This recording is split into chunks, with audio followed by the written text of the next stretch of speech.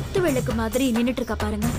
அவதான் நான் பாலமுருகனுக்கு பார்த்திருக்கிற பொண்ணு. எனக்கும் அவனுக்கும் கல்யாணம்னு முடிவே பண்ணிட்டீங்களா?